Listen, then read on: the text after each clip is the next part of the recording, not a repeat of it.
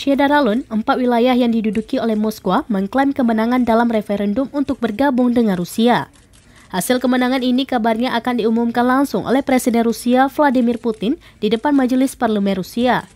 Dengan hasil ini, artinya Rusia telah mengambil alih 20% wilayah Ukraina. Empat wilayah yang dimaksud yakni Zaporizhia, Kherson, Luhansk, dan Donetsk.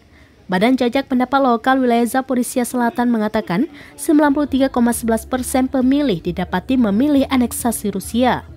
Sementara Luhansk 98,42 persen memilih aneksasi oleh Rusia. Sementara itu di wilayah Donetsk di Ukraina Timur, Badan Pemungutan Suara mengatakan 99,23 persen pemilih memilih aneksasi Rusia. Pemimpin separatis yang didukung Kremlin di Donetsk, Denis Pusilin mengatakan mereka menginginkan referendum dan bergabung dengan Rusia. Keinginan tersebut sudah ada sejak waktu lama.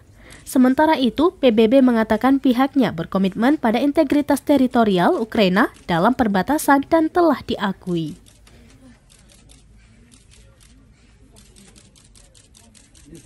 Поздравляем с каким чувством, ощущением и мыслями.